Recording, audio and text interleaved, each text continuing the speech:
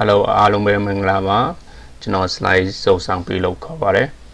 ဒီနေ့ကျွန်တော် sharing လုပ်ချင်တာကတော့ကူလှုပ်ထားတဲ့ blogger ရဲ့ template တွေကိုဘယ်လိုပြောင်းရမလဲ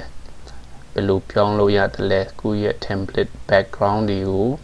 ဘယ်လို download ပြီးတော့ဘယ်လို upload လုပ်လို့ရတယ်လဲဆိုတဲ့အကြောင်းပဲဖြစ်ပါတယ် free template ဒီအများကြီးရှိတယ်ဒါပေမဲ့ကိုကဒီဟာတွေကိုမသုံးချင်ဘူးဟိုကိုက တခြား website မှာ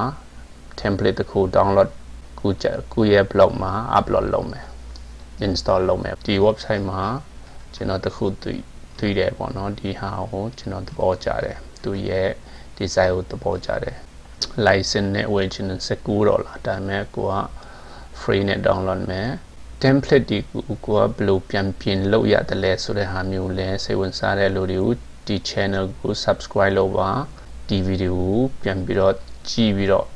ဒီ blogger တွေကိုဘယ်လိုမျိုး beginner ကနေ professional အထိရောက်သွားနိုင်တယ်ဆိုတဲ့ဟာတွေကိုကျွန်တော်ပြောပြမှာဖြစ်ပါတယ် okay by the way ဒီမှာ free download ရနေလိုက် website นี่ကျွန်တော်တို့ download ချထားတဲ့ file ဖြစ်တယ်ဒီဟာ okay အခုကျွန်တော်တို့ဒီ page ကိုပြန်သွားမယ်ပြီး dot 3ခုရှိတယ်ဒီအောင်နေပြီး restore ကိုနေ upload ကိုနေလိုက်လို့ရှင်ဒီကျွန်တော်တို့ download ချထားတဲ့ဒီဟာကလေးကိုလုပ်ချင်တယ်ဒီဟာနေပါပြီး open ကိုနေလိုက်ဒါဆိုရင်ကျွန်တော်တို့ဒီကိုရဲ့ blog မှာခုနကသဘောကျတဲ့ template ကို download ပြီးတော့ပြီ install ပြီးတော့ပြီเนาะအခုဒီအတိုင်းဖြစ်သလားဆိုတဲ့ဟာကို check မယ်ဒီမှာ view block ကိုနှိပ်လိုက် okay ဖြစ်သွားပြီဒီမှာကိုရဲ့ blogger name ဒီဟာဒီဒီဟာလေးတွေမှာကိုနာမည်နဲ့ချိန်ထားလို့ရတယ်ကို account နဲ့ချိန်ထားလို့ရတယ်ပေါ့နော်ဒီ YouTube တို့အဲဒါမျိုးတွေချိန်ထားလို့ရတယ် anyway အခုဒီဟာကတော့